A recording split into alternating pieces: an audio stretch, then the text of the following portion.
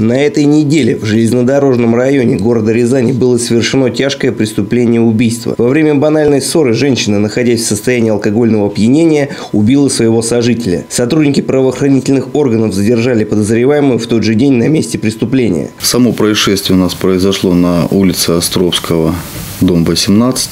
В одной из квартир данного дома проживали двое граждан, мужчина и женщина, между которыми в ночь с 25 на 26 в процессе распития спиртных напитков возник конфликт, в ходе которого, по показаниям э, нашей подозреваемой, э, мужчина стал наносить ей телесные повреждения, в результате чего она схватила со стола нож и нанесла ему э, два ножевых ранения область живота. В настоящий момент подозреваемая задержана. Проводятся следственные эксперименты. Для того, чтобы полностью доказать ее вину, сотрудникам следственного управления придется провести целый ряд экспертиз. Учитывая сроки проведения экспертиз, как судебно-медицинских, генетических, там, дактилоскопических, потому что было изъято достаточно различных предметов, то ну, это где-то месяца два. То есть мы постараемся уложиться в сроки, предусмотренные Уголовным процессуальным кодексом, два месяца. По данному факту следствие только началось. Оформляются документы и готовятся ходатайства в суд для избрания меры пресечения в виде заключения подозреваемой под стражу. За совершение умышленного убийства задержанной грозит наказание в виде лишения свободы от 6 до 15 лет.